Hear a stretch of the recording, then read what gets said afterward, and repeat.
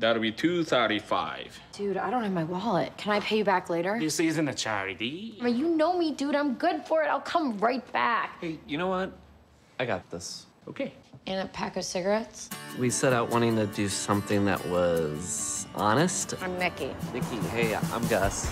Nice to meet you. We're talking a lot about how there really wasn't a show that deeply examined a couple in the way that I always like to do in movies. All these movies I've watched, they're not real. Pretty Woman is such a lie. Like, a prostitute wouldn't fall in love with you. She would just, like, steal your shit and sell it for coke. And it's like, fuck off! Get it out of my life! The show Love is about two characters named Gus and Mickey who meet and sort of dance around each other for the first season. Why did I throw out all my Blu-rays? It's okay, buddy. You're just tired. I play a character named Mickey Dobbs. She's kind of lost, but she's trying to figure out her life. Okay.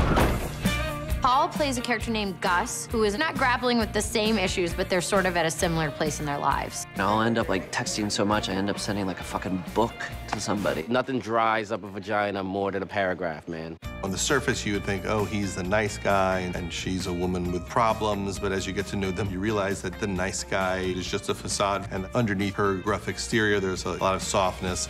There are bugs under those cups, and I can't kill them.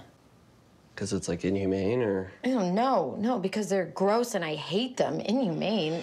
There's a chemistry between Gillian and Paul. You can't write that. Where are you from? The major city of Brookings, South Dakota. Oh, yeah, yeah, yeah. The guy who invented boredom's from there. Yeah. Gillian's awesome. I don't even know if she knows this, but we wrote the part with her in mind. You're being so weird right now. Oh, you're being weird.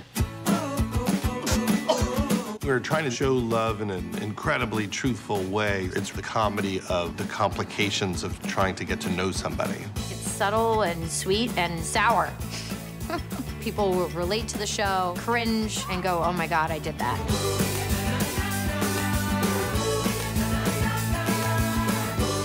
In the pool. Whoa, yeah. My mom always tells me I should date a Midwestern boy because they're really sweet and honest. Oh, really?